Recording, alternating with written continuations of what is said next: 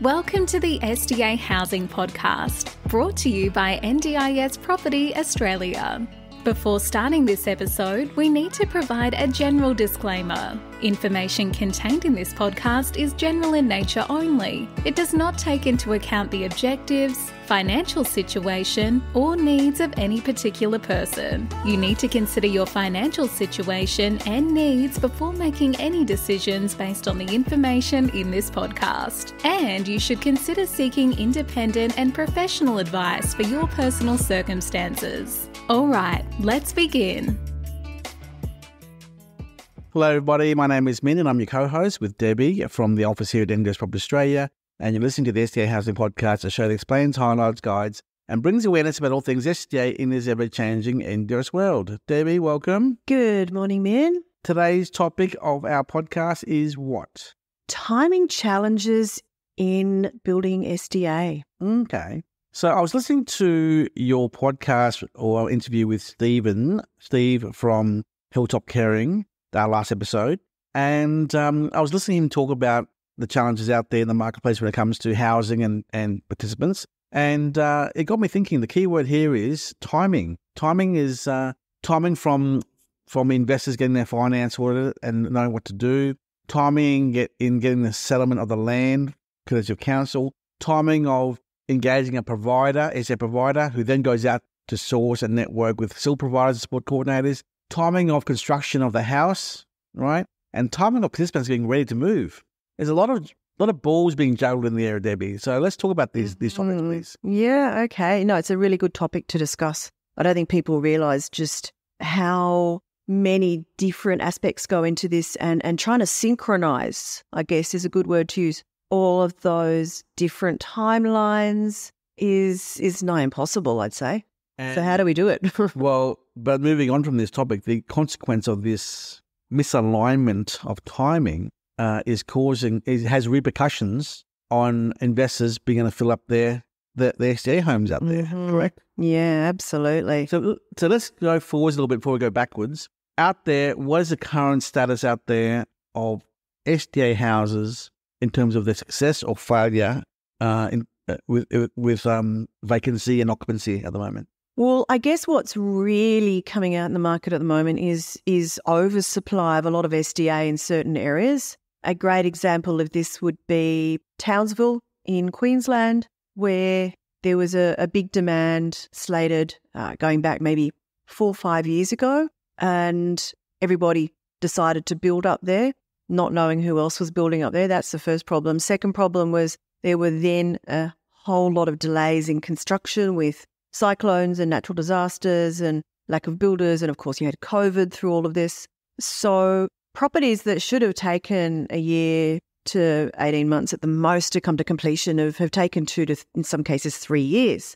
So, all these delays have meant that there wasn't a really a, a clear understanding of how much development was going on up in Townsville. And we're now faced with a pretty significant oversupply because just because of the timing was all wrong for everything.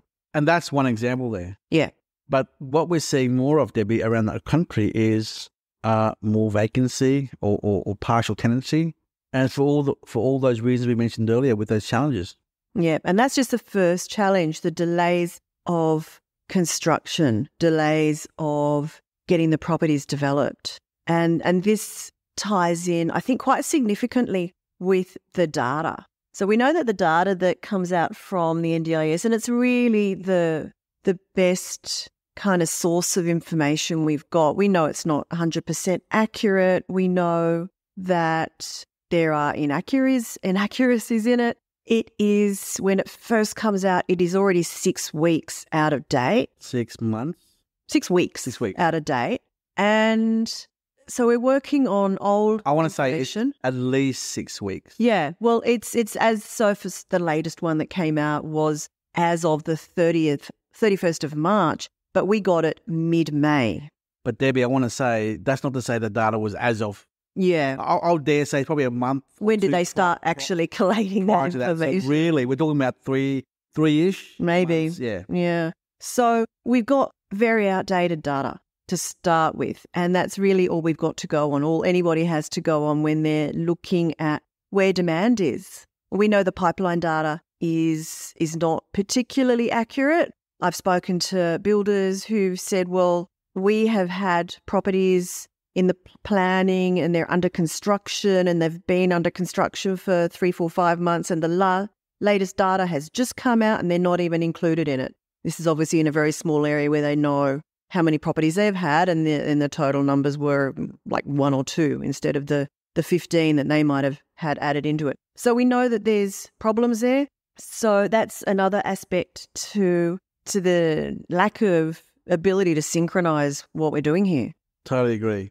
And then also when you add the 10 to 12 months construction lag there, Debbie, uh, that 10 to, oh, sorry, I call it 10 to 12, 10 months ish, plus the two month onboarding to the portal of the um, Proda account with our NDIS, SDA. Sorry, what am I saying? What am I saying? I, I meant the Proda onboard the enrollment of the home after completion into Proda to get it approved by the NDIS for the SDA compliance. Um, that's probably one to two months there, plus the 10 to 12 months construction. Yeah.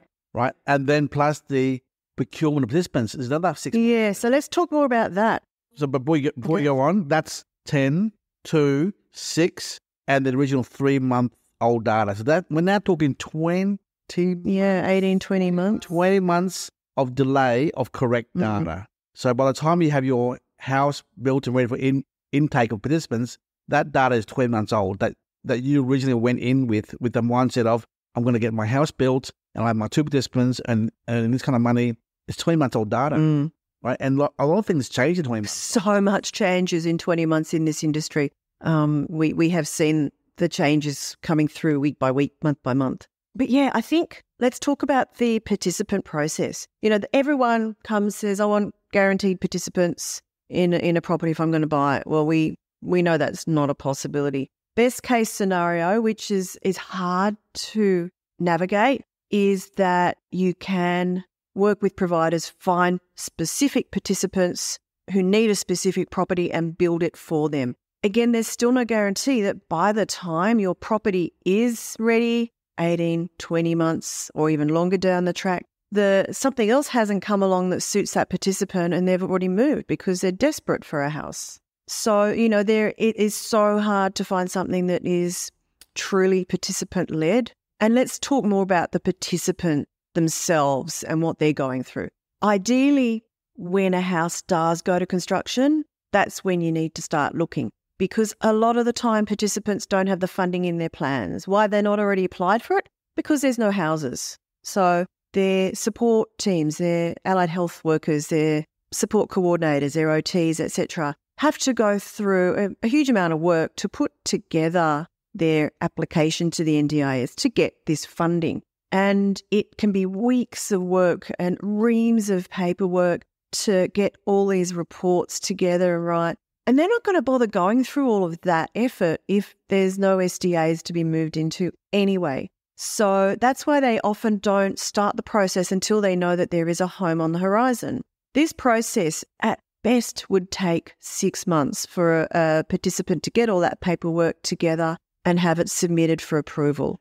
And then 12 months for approval. Well, it, it can be done in six months, but it's more likely close I mean, to lodge- 12 months. Yes. So six months to prepare everything, lodging it, and then getting it approved in nine to 12 months Yeah. track. So, best case scenario with a team that really knows what they're doing, they get that paperwork together really quickly, submit it as approved in six months. But it's more likely 12, and they often are not approved for the funding level that they've requested. So, then starts the whole review process. This all hinges on the on the fact that the, the writer, the report writer, OTs and whatnot, are good at what they do.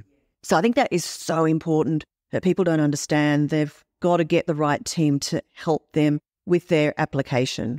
And then the correct OT is dependent upon the participants having money Yeah. To pay for it. The the costs incurred for that six months of preparation of doctors' reports, psychologists, OTs, physiotherapists, whoever they may be, that all costs money, and it must come from the family's fund. Well, there is No, no it comes funding. from the There is no plan. There is there is funding in the plan for this process, but the participant may have run out of that that segment of funding in their plan. They might not have enough to do this. Yeah. You've got to wait for the next plan review. So, you know, that's another complication. So you might look at the data and say, well, there's all of these participants, and the NDIS has stated that that's going to grow by X percentage over the next three years, eight years, whatever. But it still all hinges down to the participants actually getting the funding in their plan. So that is a, a big issue that really um, there's there's no ready easy answer to at the moment because it, it's such an individual thing for each individual participant and their support team to get that aspect right. So these delays, delays of um, of approval for, for funding, delays of construction, delays of delivery of the product to the market. There be also delays of registration of land titles as well. Yeah. Look, we, we get builders coming to us with stock all the time. We always do our due diligence on whether it's good. But And and even with three, four months to title, add another two months, Yeah. delays. a lot of what is coming to us is in new estates just because there there is literally nothing else available. And these estates are still under development. We've got, I think, properties that have come through to us recently and they're not being titled for another six months. So yeah, by the time that property is finished, that could be two years easily. And Debbie, let me remind everyone here who's listening, you might have two, three months for titles, but then another one, two months delay, and then settlement, and then building approval council approval, which is another two, two, what, two months, I reckon, and then a call, logistics call to trades and re- and delivery of um of raw materials for site. Delay, delay, delay, delay, delay here, and this is the reason why sometimes construction does take twelve to fourteen months because of all these time delays. Don't get me wrong, builders want to build as quickly as possible, right? And in, in a perfect world, it should take four to six months to build a house. But too often, we're seeing these delays because of lack of trades, lack of materials, 12 months out. And we're also seeing a lot more complications from councils, confusion over building codes and how they, there's a mismatch with the SDA design guidelines, with, with other building regulations. So that is also causing a lot of issues in certain parts of Australia too. So it just all comes down to the fact that there's so many different things that can be delayed and by the time you end up with your finished house, it's it's been a long time since you looked at that data or we provided you with the data and and things have changed drastically. So how do we kind of mitigate this to any degree? Can we? When we look at our data, we look very closely at what is in the pipeline. We look very closely at what existing dwellings, SDA enrolled dwellings are there. If there's a lot of older dwellings and legacy homes. We expect there's going to be, you know, a significant migration of tenants from those properties into new ones. And if there's not that much pipeline currently being reported, we could assume, and if also if there is a a decent projected increase of demand, the NDIS are stating, then all of those things can mean that there's a still going to be a positive supply versus demand gap in two years' time, for example, to the best of our knowledge. But but really, a, a lot of this is all going to be guesswork. Unfortunately, there's really no other way around it. Um, if we could get better, more clearer, more timely data from the NDIS, which is what everyone has been asking for for, for several years now, it might help things. But at the moment, we're kind of stuck with what we've got. To answer your question, Debbie, what can we do to mitigate this risk? I think if you go in, if you invest in an area where there's a massive undersupply of SDA stock, that's the first, um, I think, trigger there. Don't go into an area where there's equilibrium or slight oversupply, because that means when you come out of the ground, you're 18 months down the track, you're, you're, you're in the oversupply phase of that area. So that's number one. Number two, that's, well, that's, that's common sense there. And if you guys are all looking at other areas and other products out there, please feel free to email us your query and we might be able to give you an answer with on the spot because, you know, we do have a research team here of two, three people who are happily able to do a report for you for 400 bucks, done within two, three days, two days to give you some peace of mind or comfort that, hey, that area you're looking at is okay or maybe a little red flag of um of oversupply already. Yeah. And look, it always does come down to even in, in areas that do have equilibrium or look like in, in 18 months' time it will have.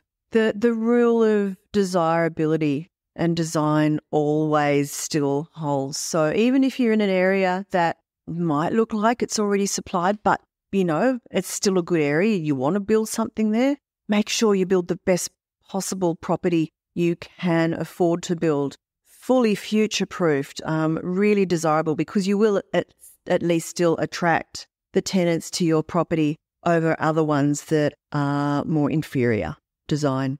Debbie, I reckon if we can, you know, give it some layman's coding, layman's terms, it would be help investors. As an investor, you should not be jumping into an area or product just because someone, a friend, an agent, a spruiker, said to you, oh, but it's 22% return, blah, blah, blah. You got to get into it now. I think there's some common sense here. And I'll ask you some questions, uh, two quick questions here, Debbie. Common sense. When you're driving your car on the road, you see a green light. What do you do? I keep going. Yeah, because it's all good, it's safe. Go, go, go. If you see an amber yellow light, wh- what are you thinking? Then? I'm thinking, have I got time to get through this safely or should I hit the brakes? Yep. Okay. And when you have a red light, You stop. be- Cool. So if an if an oversupply market is a red light in front of you, it's pretty clear what you should be doing. If it's an equilibrium or just about to hit or is a little bit oversupplied right there or under just just under or a little bit over the equilibrium number, that's an amber. Proceed with caution. All right. If it's green light, I reckon. Look, you know, there's medical facilities, there's population strong, there's no supply, there's demand, good demand there. Then it's green light. Go for it. I mean, that's. I think that's how you should be thinking as an investor. Not should I floor the pedal and get home one minute earlier, faster, because that's what people are doing right now. They'll, I'll just jump into it no matter what, and I, I'm not giving any. I'm not giving any consideration to the risk here. I'm just going to go into because I'm just. I just.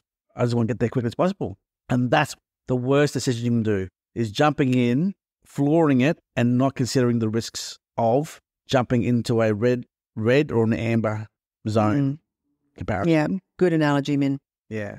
So overall, we'll finish off now with um, a reminder to everyone that there are a lot of potential delays that can affect your investment outcome, and we're seeing a lot of that. Debbie, a a lot of people coming to us with empty houses now because they bought in the wrong area at the at the wrong time.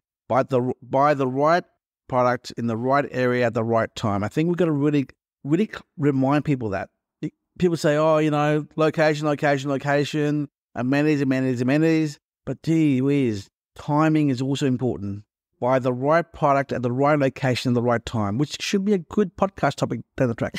yeah, definitely. Any final words of advice, pearls of wisdom before we uh, hang up this podcast? Look, it's property investment, but it's not always about location, location, location as we would normally imagine it to be. There's so many other aspects. It's yes, location is is uber important. It's the three Ds, isn't it, Minh? Design, desirability, and data. And really doing your research and asking why someone is is selling your property in a specific area.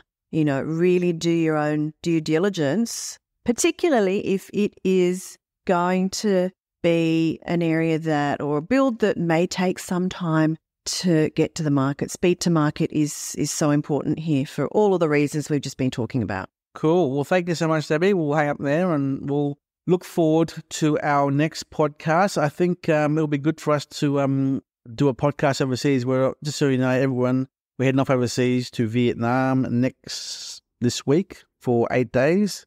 It was supposed to be a meet and greet some of our new staff overseas in the Philippines, in Vietnam, but for some reason, we now have 12, 11, 12 people coming along, and mostly providers and developers who are participating in our SDA conference in over, overseas now. I think I think this will be the first SDA conference. I think overseas. But International, yeah, but more about that later. yeah, we'll do it next week while overseas. Okay. Anyway, thank you so much, everyone. Goodbye.